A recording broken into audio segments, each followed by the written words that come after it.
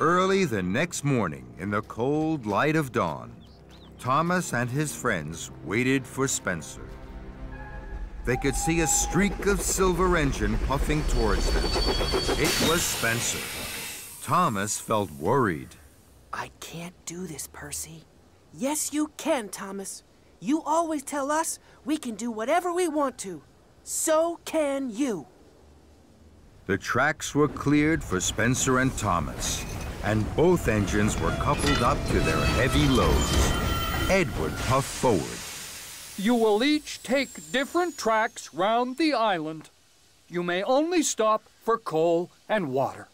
Then Edward whistled long and hard. The contest had begun. Spencer and Thomas pumped their pistons. Thomas puffed off with a heave and a huff.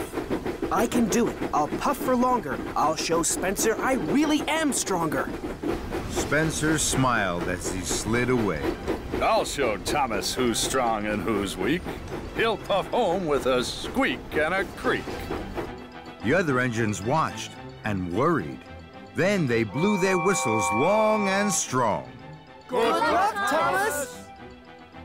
Thomas and Spencer puffed round the island. They clickety-clacked along the tracks. They whooshed through woods, and they huffed up hills. Spencer steamed and smiled. He raced and he roared. Thomas puffed and huffed. He heaved and he hauled. Silly little engine. When will he learn? You can do whatever you want to, and I want to win! Thomas was huffing up a steep slope. He was puffing and panting, and his axles ached. At last, he reached the top. Hooray!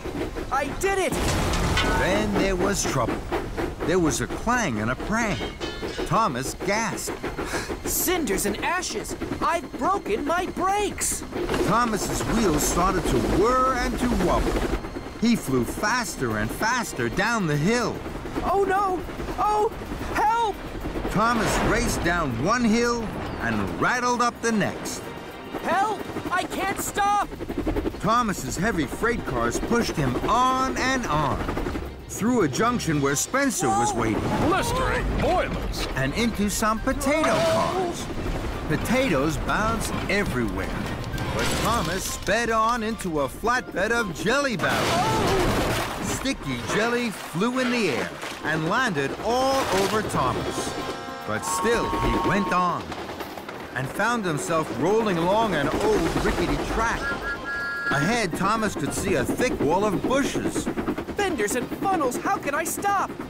With a scrunch and a crunch, Thomas crashed into the bushes and came to a stop. Flaming fireboxes! That was scary.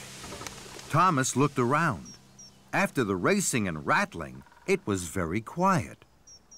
Spencer will be back at the shunting yards now. He'll be puffing with pride because he won the contest.